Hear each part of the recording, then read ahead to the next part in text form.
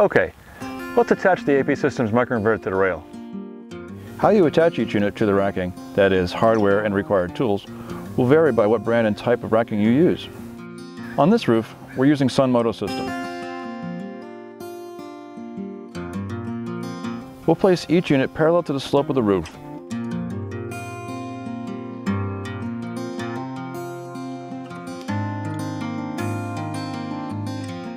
After each microinverter is properly positioned, tighten down the hardware so the unit is securely affixed.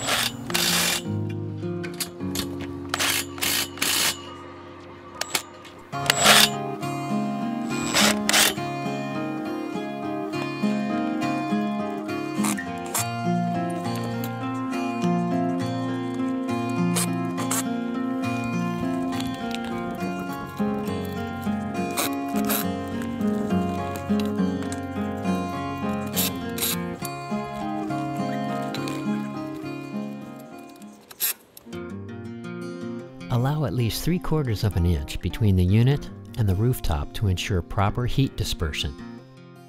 At the end closest to the roof penetration point, use the transition cable or whip to reach the home run and connect the array to the home AC circuit. At the far end, use the AP Systems end cap on the AC end to close and protect the circuit.